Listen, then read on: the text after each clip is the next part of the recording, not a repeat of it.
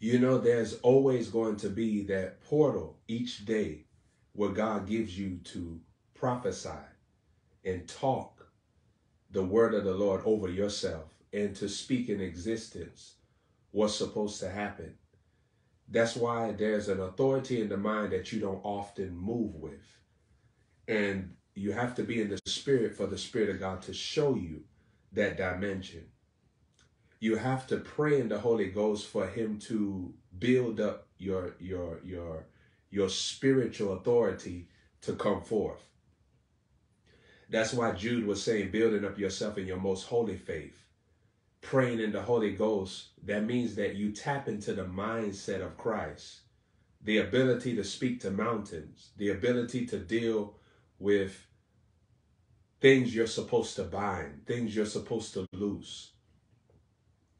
The kingdom authority is in praying in the Holy Ghost so that the mystery of what you're supposed to say, do, become, where you're supposed to go, will enter you with clarity.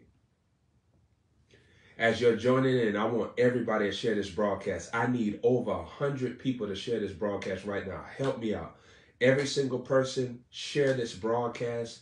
Thank you for all my partners. Thank you for all of you all that sow into me. Thank you for all of you all that bless me. Thank you for all of you all that have helped me out. I want you to share this broadcast as you're joining on. As you're joining on, I want you to share this broadcast and say, Lord, I receive the anointing for today. I receive the glory of God for today, the blessing for today, and I receive the blood of Jesus covering me, protecting me, and bringing me into the blessing all today. Saints, whenever you get into that mode of authority, you also allow the Spirit of God to show you what has been weakening that authority, what you have been studying with your eyes, what you have dwelt upon, what you have desired that was outside of the will of God that weakens you. Did you know that when you desire things that God doesn't want you to desire, do you know that that weakens your personality, that takes your personality down a path that is not supposed to go? Did you know that you corrupt yourself and defile yourself when you let an imagination dwell inside of you that's not supposed to be there? Did you know that you become more wicked when you don't sanctify a place in your finances to sow into the word of God being preached to you by your man of God? Do you know that your heart becomes cold towards God? That sowing seed, it brings a softness for you to hear God and obey God. It brings a softness. It brings the spirit of unselfishness, the spirit of love, Remember, God has not given you the spirit of fear, but the spirit of power and the spirit of love and the spirit of a sound mind. So even the spirit of love is a dimension of unselfishness where it no longer becomes about you. It becomes about someone that's sent to you. It becomes about God in human flesh, who he has put in your life.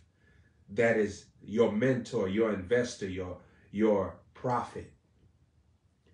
Saints, the spirit of love will take you out of fear. It's more powerful than fear. And when you're in the spirit of love, you'll see your victory. You'll see your protection. You'll understand cherubims that come into your life when you're in faith. Faith attracts cherubims. Cherubims are beings that God made to move with the blessing, protect the blessing, and keep you in the flow of increase. When cherubims are in your life, they are protecting your garden. They are upgrading your garden. They are helping your garden. Cherubims, they understand what keeps the blessing on the increase. They know what keeps the blessing in the overflow. When you're in faith, you allow cherubims to enter your life and do their ministry. When you understand the angelic, angels are all around you when you're in faith. When you're in fear, you attract the demonic. When you're in lust, you attract the demonic. When you're in worry, you attract the demonic. I need you to share this broadcast as you're joining in. Share this broadcast. Say, Lord, I receive the blessing of Abraham. I receive the prophet's reward, the blessing of the prophet on my day, on my week. When you're in faith, the cherubims do their ministry. Now, saints, there's a healing company of angels. There are prosperity angels. They are there to heal the body. They are there to prosper your way. Abraham had the angels prospering his way in Genesis chapter 24. When you're in faith, you allow yourself to be introduced to angels.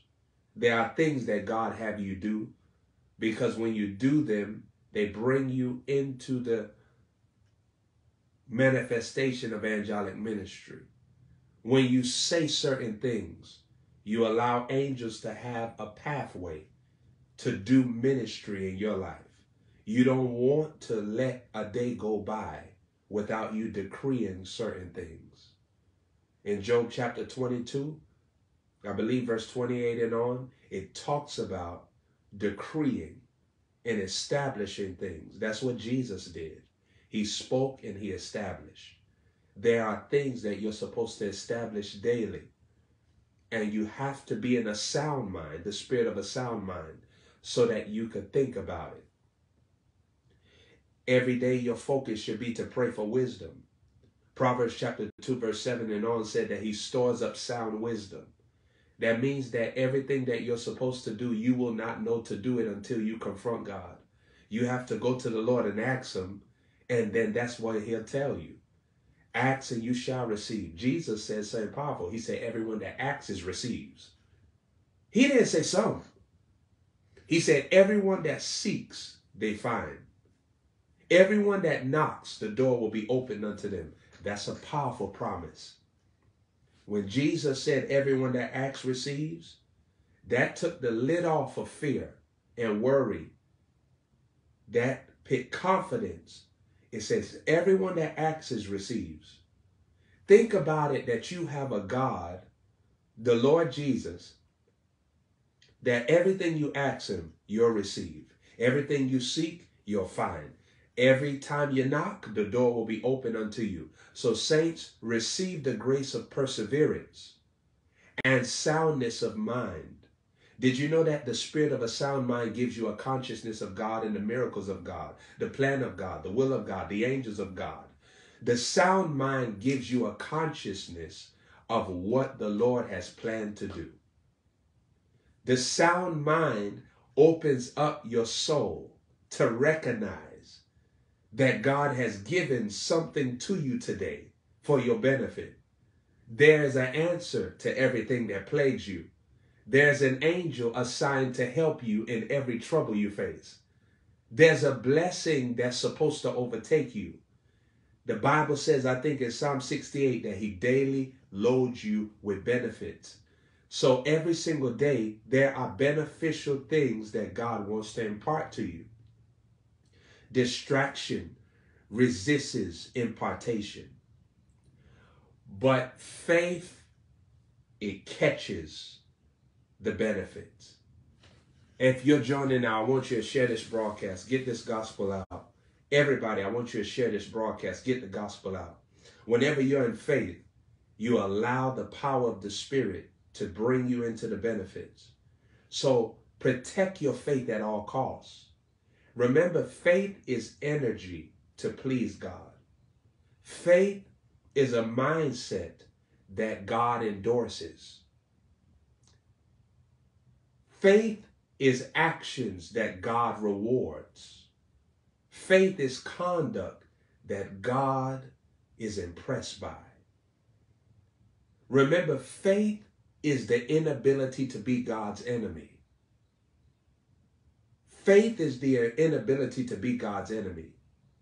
Faith is the rejection of generational curses, generational impartations, things that were not supposed to be continued through your life, mindsets, doctrines. Faith is the momentum to pursue God's soul. When you have faith, you have momentum to pursue God's soul. Faith, it is the training to honor God. When you have faith, the Spirit of the Lord shows you how to sow seeds, how to take what you have and give it to the gospel, because the gospel has more for you of that same thing. The gospel has more money for you. The gospel has more health for you. The gospel has more assistance for you. Faith is where you exchange your decisions for God's will. You exchange your emotions for God's focus. When you receive God's focus, it purges your emotions. It purges your mind.